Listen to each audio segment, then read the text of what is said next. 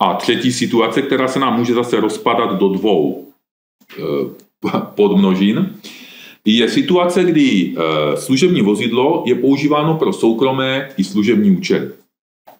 Jestliže je pro soukromé účely používáno eh, služební vozidlo, tak prvním režimem může být situace, kdy třeba zaměstnavatel vlastní, vlastní obytný vůz, půjčí ho zaměstnanci na rekreaci a tady vůbec nejsme v režimu paragrafu 6 odstavec 6.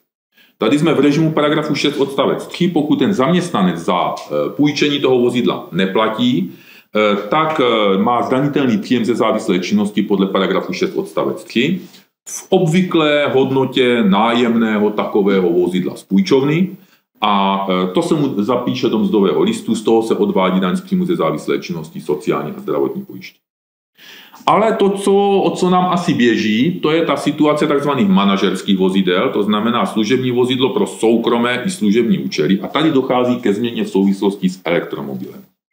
My jsme byli vlastně do poloviny letošního roku zvyklí, že pokud bylo vozidlo eh, použito pro služební i soukromé účely, tak z pohledu daně z příjmu eh, se považoval za příjem toho zaměstnance eh, hodnota 1% ze vstupní ceny. Připomínám, včetně DPH, Občas se ještě setkáváme s tím, že se někdo podívá do karty toho auta, najde tam vstupní cenu 600 tisíc a vezme 1%. To je samozřejmě špatně. Tam se musí připočítat DPH a ti pláci si ho odečtou, takže ho na té kartě nemají. Takže to je první věc, na kterou si dát pozor. Uh, druhá věc, od 1.7. musíme rozlišovat, jaký typ vozidla je tomu zaměstnanci poskytnutý.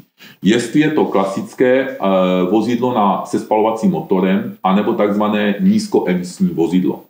My jsme měli v létě pro jednu pražskou agenturu speciální půldenní seminář o elektromobilitě, takže jenom stručná jakoby výcud z toho, co je dobré eh, vědět, když se v tom budete pohybovat.